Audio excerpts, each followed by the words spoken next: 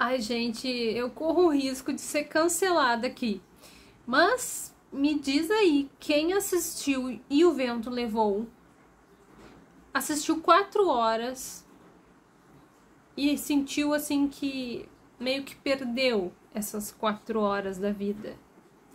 Pois é, eu sempre achei que o vento levou era um épico, incrível, nossa, seriam quatro horas de uma superação maravilhosa, de um romance, do, um romance assim super uh, sofrido, sabe? Com emoção e que o final seria uma coisa inédita.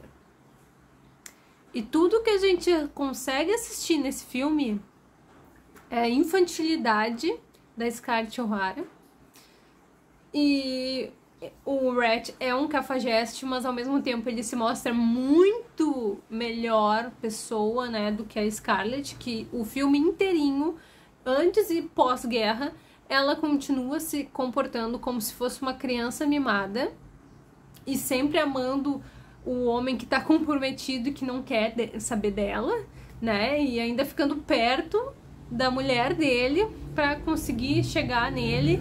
Enfim, meu Deus, o que, que a gente pode falar, né? Essa pessoa realmente não aprendeu.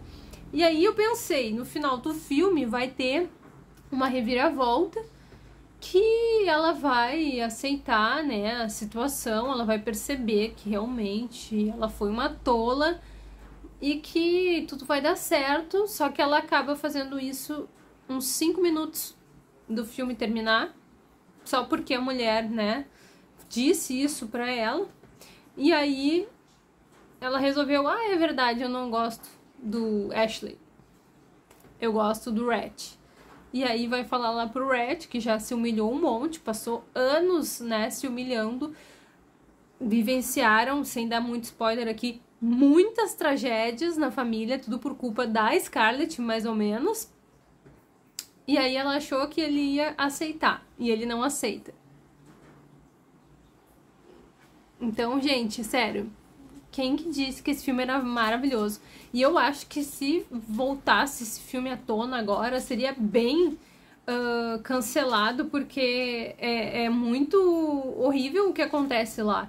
Eles têm os plantations lá, que, que são as terras dos escravos. Ela, principalmente a Scarlett, trata os escravos muito mal, tanto que o pai dela ainda chama a atenção dela. Ela continua tratando, mesmo eles não sendo mais escravos. Todo mundo fala isso. Ela bate num e tratam assim os negros muito, muito mal nesse filme. E eu sei que tá retratando a época e tudo mais, mas eu acredito que se fosse hoje em dia esse filme viesse à tona ia ser cancelado, porque não sei, não tem sentido as coisas que acontecem nesse filme. É um filme lindo, assim, né? Tipo, o figurino, a fotografia é muito bonita, realmente, mas tinha tanto potencial. Poderia ser uma mulher que era infantil antes da guerra, mas aí depois da guerra, de ver os horrores do que aconteceu, ela resolveu crescer tomando conta da família, que foi mais ou menos o que ela fez, só que de uma maneira muito egoísta e muito infantil e só se preocupando com o cara que era casado, né? Então não tem muito sentido, não, gente. Me desculpem. Se alguém discorda, eu quero conversar aí nos comentários.